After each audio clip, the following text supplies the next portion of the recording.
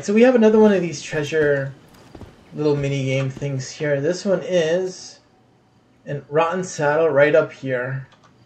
Let's grab this. Let's see what kind of blueprint this is going to give us. One, two, three. Okay, there's a treasure. This is going to give yellow signal arrow sign. So that's going to be a cool neon sign. We're going to check that out in a second. Alright, so go to your inventory. It's going to be here as a uh, formula. Again, yellow signal recipe, we're going to do use. There it is, formula obtained. I'm at my base. I'm going to go press B.